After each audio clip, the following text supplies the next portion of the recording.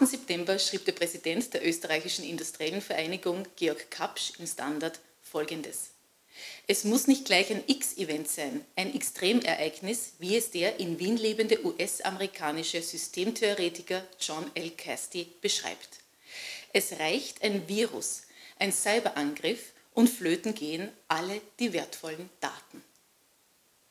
Nun, genau hier befinde ich mich heute bei John Casty. Ich habe ihn angesichts der dramatischen Ereignisse, ja, ich möchte fast sagen, X-Events in der politischen Szene der letzten Tage um ein Interview gebeten. Ich wollte mit ihm analysieren, ob es möglich ist, solche Ereignisse, wie sie bei der SPÖ im Moment im Wahlkampf auftreten, ja, wie sie Bundeskanzler Christian Kern passieren, ob sich der Kanzler auf diese vorbereiten hätte können ob sich die Partei darauf vorbereiten hätte können und noch viel wichtiger, wie können wir uns auf mögliche Ereignisse ab dem 16. Oktober vorbereiten.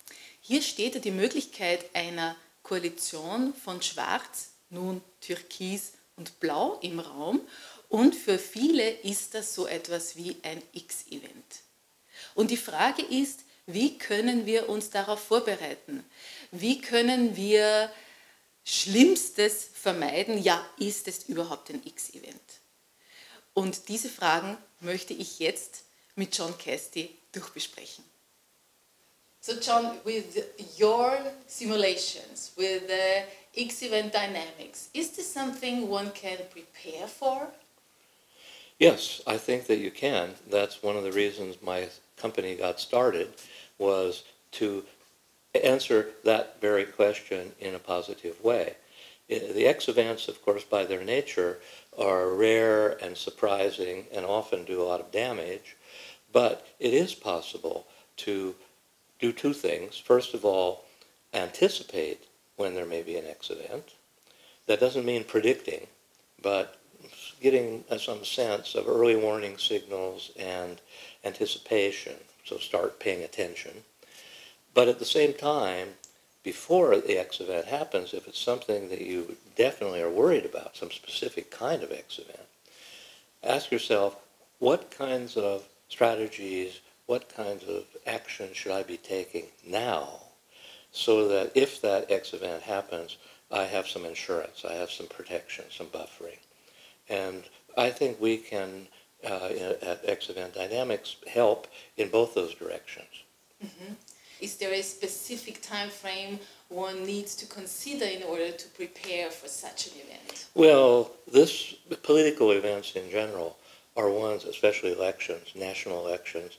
They're things that unfold over a time scale that is measured in roughly a few years, mm-hmm. not days and not centuries either, but a few years. Mm-hmm.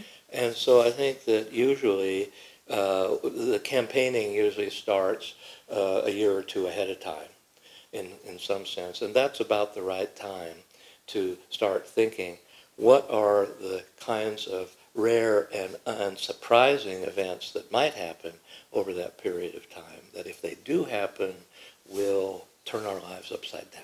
Mm-hmm. And that we should start thinking about managing our political system, managing our party, if you like, and our campaign so that we build in some protection in case one of those things does happen, so mm-hmm. that it doesn't just catch us totally by surprise and, and destroy our whole campaign. But but I think you're right. It's a little late now, a mm-hmm. week before the election, yes. to start doing. This is the time to start thinking, if you're a loser, about the next election mm-hmm. and what uh, the sentiment of the population is in terms of actions, not words. So mm-hmm. this this you can do now, mm-hmm. but uh, for th this election, I think to a large degree, unless there's some kind of major event, some explosions or some heart attacks or God knows what else, this election, uh, the cards, the dice have already been thrown. You just have to wait and see how they turn up. Mm -hmm, mm -hmm. So the X event here was when the government broke up and when the need for elections came true because now we can think of uh, possible combinations for the government. So it's not an accident anymore. But if we think of it, let's just think of uh, ex-black, now turquoise blue government uh, as an X event. Uh, let's think of uh, uh, the situation we have more time. How would we, with your help, be able to prepare for that? Okay. Well, look, first of all, it depends on whether you're talking about an individual or you're talking about a corporation, or you're talking about uh, some big social group, because the, the kinds of things that each of these, let's say, organisms would uh, take, it would be, they have different things at their disposal. If you're an individual and you think you're going to have a big political shift in the government, let's say to the right, um, in, from everything that I understand, that one can expect with a turquoise, um, blue coalition, uh, it will be a lot less social services, the kinds of things that Austrians have become accustomed to over the last 50 years. A lot of these, I don't think they will totally disappear, but they will be shrunken. They, they, the pensions may get smaller, the taxes may get higher, the uh, social housing may get uh, dif- more difficult to obtain, and so on. And these are all things that affect individuals at a very basic way. And so then you say, well, uh, suppose my pension is going to shrink. What should I be doing today to put in place something to help fill that gap? And I don't know exactly. It depends on your individual situation. Maybe you have to get a part-time job. Maybe you have to start saving more and spending less, or whatever. These are all pretty obvious things. Mm-hmm. At a corporate level, it's a different story, and so on. But there's always something that you can do if you have some sense that something like this could happen. Let's build. A, let's take out a little insurance and mm-hmm. start doing some things today to build in a buffer mm-hmm. To protect us. So it's not just a shock. Yeah, yeah. And how does it work? How would we be able to prepare for such an accident? Well, look, if you want to use science, the scientific method is very clear. You have some data, you create a hypothesis, something that you assert is explains the data, and then you have to go into a laboratory to do controlled, repeatable experiments to test that hypothesis. Does it stand up to experiment or not? Now, what you have in the social domain, like we're talking about, you don't have any laboratories. You can't do controlled, repeatable experiments. You have some mad theory of finance. You can't go down to Wall Street and ask them to change the rules today so you can test your theory. And even if you could, you could never repeat the experiment. So the alternative is to create a virtual world, not the real world. Create an electronic copy, if you like, of the real world. Put it inside your computer, and that computer becomes a laboratory for doing experiments. Then you can test strategy. You can say what you can. You can basically play what if. What if I change the pension scheme? Uh, uh, And by how much? How, what kind of impact will that have on people? What if I uh, eliminate public housing? Or, and so on and so forth. You can do these experiments, run them through your virtual world and see how they come out. And if it's not to your liking, uh, then you can change your strategy and try something else. So yes, and, and we're able to do that. But in order to do it effectively, we have to have knowledge about what it is that kind of events, extreme events, let's say, that you are most worried about, the kind that can blow your world upside down. So that we, and then uh, you can drop them into this fake world and see what kind of effect they actually have. I mean, I did an experiment uh, like this for the catastrophe insurance industry, and what these guys were most interested in was how do I manage my company today in terms of what areas I, t- I could give insurance coverage, if how if I if I have excess risk, how do I sell some of it off to the reinsurers and so on, if a hurricane happens in the Gulf Coast of the U.S. or if an earthquake uh, wipes out half of Japan or whatever. Well, in the virtual world, you can drop in hurricanes and earthquakes at some random moment and see what effect that has on. Is your strategy enabling you to s- succeed or maybe even benefit from those events, or do you get blown away by them? Mm-hmm. So th- we- we know how to do that. Mm-hmm. But mm-hmm. those are different kinds of, that's not the same kind of X event that you're talking about in the political domain. Mm-hmm. So, but you, can basically, uh, you can do the same thing, except mm-hmm. the world will be a different one. That's, mm-hmm. you're exploring a different world. If we take the program of all the parties and we put them in a simulator like that, and we, um, let's say, run all the programs, we could see what comes out, right? You can. I mean, fundamentally, you know, th- uh, thinking, basically what, what you have, you you have a big multi-person game. Mm-hmm. Each of the parties is one of the players in this game. Each of them has some, some programs or strategies that they want to use, and they ask, what's the right thing to do? Well, the answer is, there is no right thing to do. The right thing to do depends on what everybody else is doing, but you don't know what everybody else is doing. You know more of it in the political domain than in most than in business world, for example. But uh, so the ultimate outcome, when you put all these players into interaction, each using their own strategy, something happens. And some will be winners, some will be losers. And the losers are going to say, gee, maybe I better change my strategy. And then you try out a different strategy, assuming everybody else still does what they did before. And basically you play this game many times and maybe you, you finally evolve into something that is workable, tolerable, let's say at least, and that uh, enables you to roll with the punches if some big, extreme, unexpected event takes place, that it gives you the opportunity to, to survive, at least survive, uh, if not be a beneficiary. Yeah, it can be done. But it takes some time and, and some real, you can't get more knowledge out than what you put in. Uh, All, all that you get, uh, all that your program, your computer program does, it takes knowledge that's implicit and makes it explicit, so you can actually see it. Okay, That's it. okay. It's really interesting, and it brings me to the question of Donald Trump, because uh, he is seen by a lot of people as himself an X event, an extreme event, because he can cause so much trouble.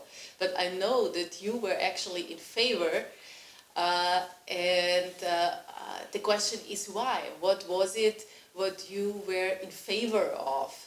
uh, such kind of person. And if we think now of the political field in Austria, could also be that maybe some uh, kind of extreme person get to build or to take part in the government. So the question is, what is the good thing in such extreme events? Well, as a general principle, extreme events uh, happen in a way that in, the short term, there's usually quite a lot of pain, uh, socially, emotionally, financially, and otherwise, you know, earthquakes, hurricanes, and whatever. But at the same time, that extreme event has the positive effect, usually, of blowing away the existing power structure and opening up new niches for ideas, products, services, and so on that would have never gotten a chance otherwise. I'll give you an example that we all know about. Think about that asteroid that blew away the dinosaurs 65 million years ago. Well, it was pretty bad news for the dinosaurs, no question about it. But it was very good news for you and me because without that X event, we wouldn't be here today. And we wouldn't be having this conversation. So the same thing can happen in getting to more modern times. I personally believe that the U.S., the power structure in the United States, which is essentially uh, the banks and the politicians, roughly, they became out of, out of control. And they needed to essentially be blown away. A good illustration of this is the huge income inequalities, for example, in the USA. And of course, the existing power structures, they never want uh, to have any major change. They're perfectly happy. The the last people who want major change are the power structures. They're happy with the situation just as it is because they're the prime beneficiaries. So something has to happen that is a force majeure that they that wipes out this power structure. Usually it's a war or a pandemic or some major thing like that, and basically enables you to shuffle the cards and deal out new hands. Mm-hmm. And this creates opportunities for new services, new products, and whatever. So I've made the case in one of my books and papers that I've written that you shouldn't fear these X events. You should prepare for them so that you're a survivor, because if you are, your life ultimately is going to be better. And you- X events are a necessary condition for human progress. There would be no human progress without them.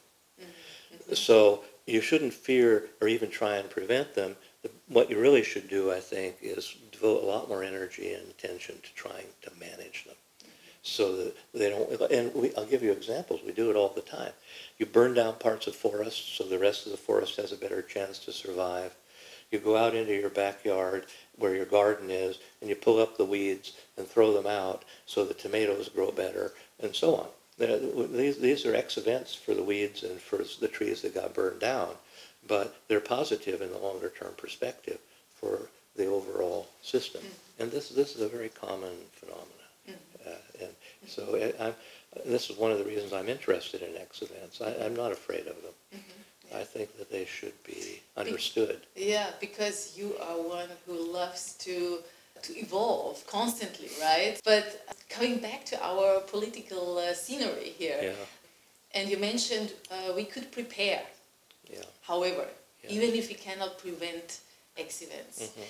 would you have two, three tips uh, for leaders and decision makers how to prepare for Well, these are pretty general principles, but let me just tell you what, what I'm thinking in this regard.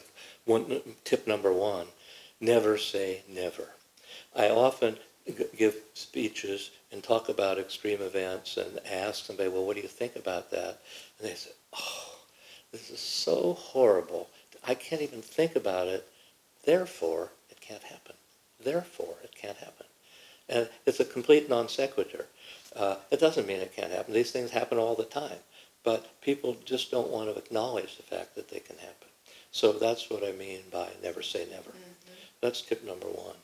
Tip number two is if you're the loser of the current election, or even if you're the winner, it doesn't really matter, uh, you should start right now thinking about the next election. And you should start thinking about it in the sense of trying to get some sense, feeling for how the population is going to be feeling as a group when the next election comes around.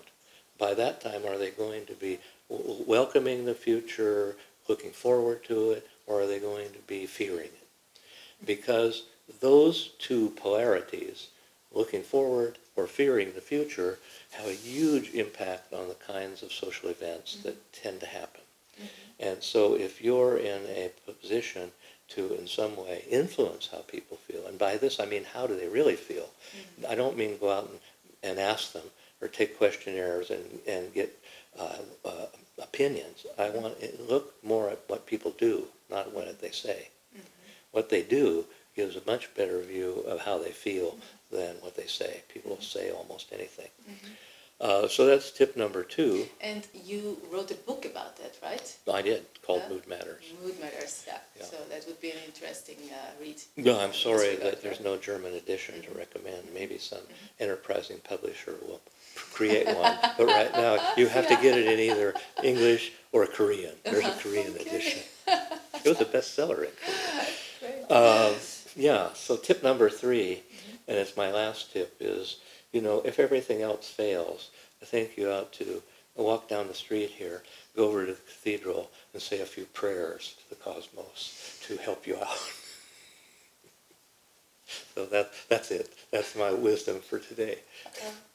Thank you so much, John. Pleasure. I hope that our viewers will take a good lesson uh, from your thoughts and uh, yeah. Especially the last one. Yes.